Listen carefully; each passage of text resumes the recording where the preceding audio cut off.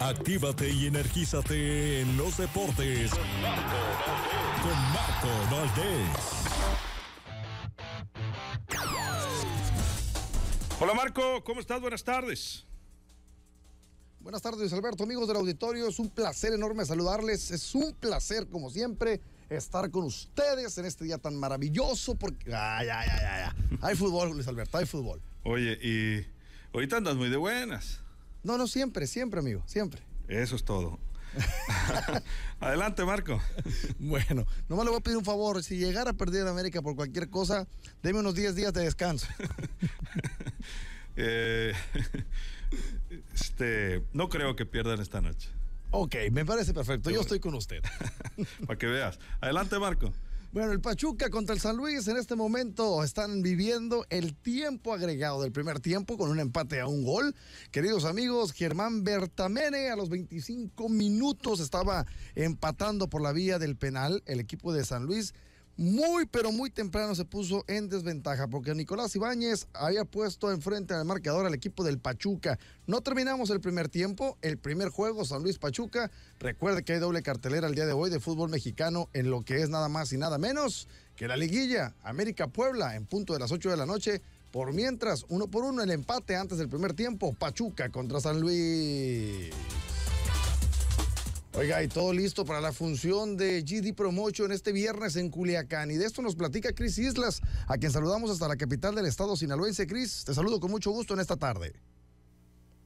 ¿Cómo te va, Marco, querido? Buenas tardes, un gusto y un placer saludarte como todos los días. Y efectivamente, la mañana de este miércoles, en conferencia de prensa, se dieron los últimos detalles de la función denominada Escobar contra Guerrero. Shaday Godoy, quien es el director general de JD Promotion, dio los pormenores del evento que se llevará a cabo este viernes 13 del presente en el Polideportivo Juanes Semillán de la capital sinaloense a partir de las 7 de la noche. Será un total de nueve peleas las que se llevarán a cabo, la cual estará encabezando Héctor Escobar, quien se medirá ante José de Jesús Guerrero en la categoría Superpluma a ocho episodios. Vamos a escuchar al director general, Shaday Godoy.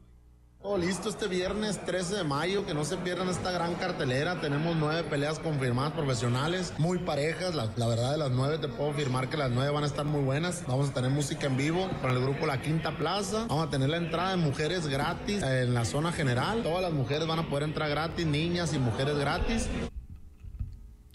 Así que el próximo viernes no tendrán pretextos para asistir. Si usted quiere ir, llevar a su mamá, a su novia, a su amiga, quien quiera puede pagar solamente un solo boleto con JD Promotion porque las niñas y las mujeres entran gratis en zona general, además buena música.